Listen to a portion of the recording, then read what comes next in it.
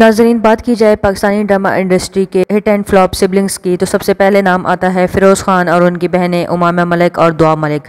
फ़िरोज़ खान तो अपने कैरियर के आगाज़ से ही खानी ड्रामा की मकबूलियत की वजह से अपने मदाहों के दौरों में घर कर चुके हैं।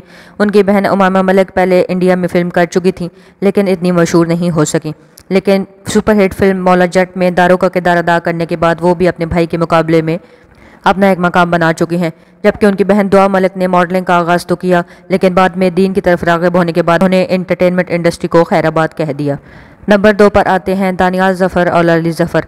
अली जफ़र सिंगिंग में तो अपना मकाम रखते ही हैं, लेकिन इंडिया में एक फ़िल्म करने के अलावा उन्होंने ड्रामा इंडस्ट्री में कभी कदम नहीं रखा, जबकि उनके भाई दानियाल जफ़र रमज़ान के मशहूर ड्रामा सीरियल ताना बाना से अपने कैरियर का आगाज़ कर चुके हैं। इसके अलावा वो मिनी सीरीज़ बारवा खिलाड़ी का हिस्सा भी रहे हैं, जिसकी वजह से उनकी काफ़ी अच्छी फ़ैन बेस बन चुकी है। तीसरे नंबर पर आती हैं सनम बलोच और उनकी बहन Sabreen Isfahani. Sanam Baloch morning show host करने के साथ साथ कई मशहूर ड्रामों में भी काम कर चुकी हैं, जबकि उनकी बहन को सिर्फ़ साइड रोल्स ही मिले हैं, और वो इंडस्ट्री में अपना वो मकाम नहीं बना सकें, जो कि उनकी बहन सनम बलोच के हिस्से में आया है। चौथे नंबर पर जिस बहन भाइयों की जोड़ी की बात की जाएगी, वो हैं हमाद फारूकी और फराज फारूकी। हमाद फारूकी और फराज फारूकी ट्विंस ब्रदर होने की वजह से भी ड्रामा इंडस्ट्री में बहुत मशहूर माने जाते हैं। लेकिन हमाद फारूकी ड्रामा इंडस्ट्री में उस तरह से नज़र नहीं आते जिस तरह से फराज फारूकी नज़र आते हैं। हालिया दिनों में अखाड़ा में बेहतरीन किरदार अदा करने पर फराज फारूकी को बहुत ज़्यादा पजीराई मिली और लोगों ने उनकी बहुत ज़्यादा तारीफ़ की, जबकि हमाद फारूकी को ड्रामा सीरीज़ में साइड रोल में ही देखा जा सकता है। अगली जोड़ी है सारा अली खान और नूर जफ़र खान की।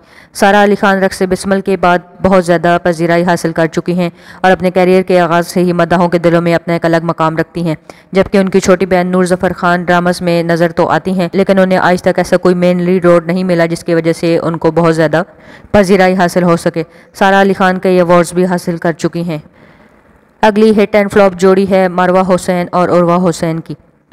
मारवा हुसैन ने कई बेहतरीन ड्रामास की हैं, जिनमें सबात सर फहरिस्त आता है। मारवा हुसैन को उनकी बेहतरीन अदाकारी की वजह से कई अवार्ड्स भी मिल चुके हैं, जबकि उनकी बहन उर्वा हुसैन उडारी ड्रामा से अपनी मकबूलियत का आगाज़ तो कर चुकी थी, लेकिन अपनी मैरिड लाइफ की वजह से उन्होंने अपने शोबिज़ इंडस्ट्री को काफ़ी अरसे खैराबाद किए रखा है और अब आने वाले दिनों में वो स्क्रीन पर दोबारा कम करेंगी।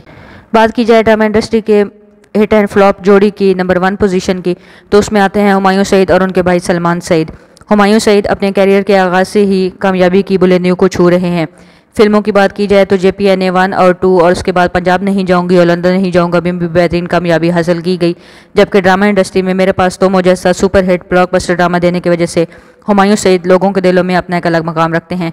जबकि उनके दोनों भाई सलमान सईद और दीगर को ड्रामा इंडस्ट्री में वो मकाम हासिल नहीं हो सका जो कि उनके भाई हुमायूं सईद के हिस्से में आया।